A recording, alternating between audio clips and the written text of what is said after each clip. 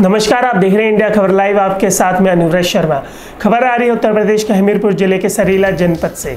जलालपुर थाना के अंतर्गत आने वाले हरसुंडी गाँव में कल से गायब एक व्यक्ति की लाश खेतों में पड़ी मिली है। जयसिंह अपने खेतों में रखवाली कर रहा था, तभी जानवरों को भगाने के लिए पास के खेतों में चला गया। जिन खेतों में जयसिंह चला गया था, वहाँ 11000 वाट करंट के तार खेतों में चारों तरफ़ डले हुए थे, जिसकी चपेट में आ जाने से जयसिंह की मौत हो गई। जय सिंह की जिस खेत में करंट लगने से मौत हुई, वह खेत राम गोपाल और उसके बेटों हरी सिंह और निर्दोष के हैं। जय सिंह जब घर वापस नहीं लौटे तो उनके परिवार वालों ने उनकी खोजबीन शुरू कर दी। P dial hundred police PCR को फ़ोन कर जय सिंह की जय सिंह की गुमशुदगी के बारे में बताया गया। पुलिस ने गाँव में आकर छानबीन भी की, लेकिन जय सिंह के बारे में कुछ पता नहीं चला, जिससे UP dial hundred police PCR खाली हाथ लौट आई। लेकिन अगली सुबह जयसिंह की लाश राम गोपाल के खेतों के नज़दीक ज्वार के खेतों में मिली। वहीं मृतक जयसिंह के रिश्तेदारों ने राम गोपाल और उनके बेटों पर हत्या का आरोप लगाया है और इन तीनों ने मिलकर जयसिंह की हत्या कर दी और करंट लगाकर जयसिंह की लाश को छिपा दिया, जिससे मृतक को ढूँढने में एक दिन का समय लग गया।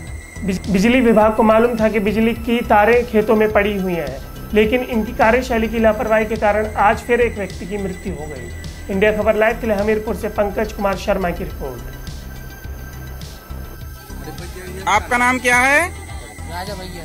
राजा भैया। और आप कहाँ के निवासी हैं? और मृतक आपका कौन है? भाई। और ये घटना कैसे हुई है पूरी? घटना ऐसी हुई है कि हमारी पुरानी कुछ अच्छा। उन लोगों ने उसे मार दिया। मार दिया गया। मार के करंट किन किन लोगों ने मारा है? मारा गोपाल ने अच्छा और? हरी सिंह ने। और? और नन्नू ने। और कौन थे? और उसकी गोपाल की औरत थी। अच्छा चार लोग थे। चार लोग थे। अच्छा गोपाल की औरत का नाम क्या है? शांति। शांति है। धन्यवाद। जी आप मृतक के कौन है? भाई। भाई हैं।